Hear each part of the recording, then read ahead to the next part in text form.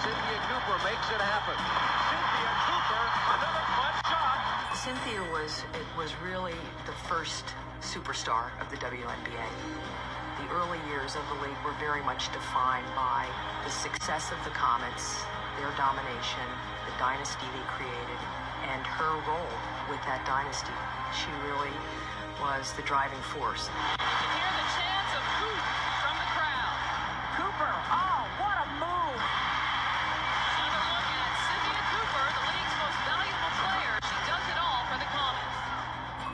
Was phenomenal. I mean, she was a phenomenal player. I think that um, her work ethic definitely showed on the court.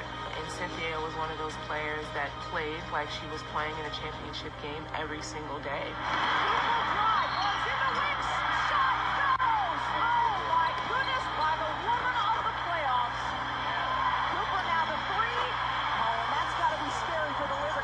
She's done it all. And, you know, and I'm happy to see that a player of her caliber uh, being re- rewarded for all her accomplishments. Oh, vintage Cynthia Cooper. Who, man, you did it all. You deserve, you deserve it. Cooper also won a pair of national championships at USC. But D, Wow. how important was she not only to her team, the Houston Comets, but to her league? Well, I think to the league, to the Houston Comets, just to women's basketball all across the country, she was the Michael Jordan. She was the person that had you go watch the WNBA because she brought the passion, she brought the energy.